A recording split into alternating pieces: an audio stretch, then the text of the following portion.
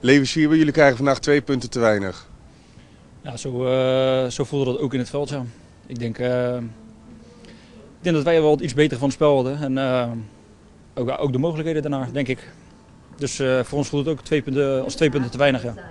En dat is niet voor het eerst in het seizoen? Nou ja, zeker weten niet. Ja, we kunnen erop terugkijken. natuurlijk, we missen penalties in de beslissende fase zeg maar, van de wedstrijd.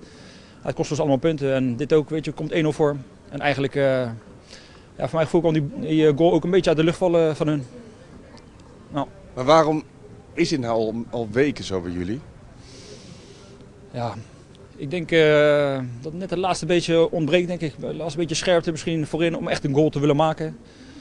En uh, ja, zoals je ziet, de eerste helft uh, krijg je echt twee, drie mogelijkheden, echt 100% kans om gewoon te scoren. Ja, dan moet je er gewoon één van maken. En dan, ja, dan ga je met, misschien met de voorsprong de rust in. Wordt het allemaal iets makkelijker. Maar ja, wij moeten er heel hard, heel hard voor werken om, om punten binnen te halen momenteel. Dus, heb je enig idee wat je eraan kan gaan doen om uh, dat kwartje wel de goede kant op te laten vallen de komende weken? Ja, nou, we moeten gewoon één ding blijven doen, is gewoon positief blijven naar elkaar en voor elkaar willen werken. Dat is ook, hoort ook bij Scheveningen, weet je. Gewoon hard, hard werken en dan komt de rest vanzelf. Ik, ik ben ervan overtuigd dat we genoeg kwaliteit in de ploeg hebben om, ja, om gewoon de lijn weer omhoog te, laten, te, laten, te laten maken, zeg maar. Ja, want iedereen zegt Scheveningen heeft niet een ploeg om te gaan degraderen. Maar goed, als je naar de stand, van de, ranglijst, op de, als je naar de stand kijkt van de ranglijst, dan ja, sta je echt in de gevarenzone.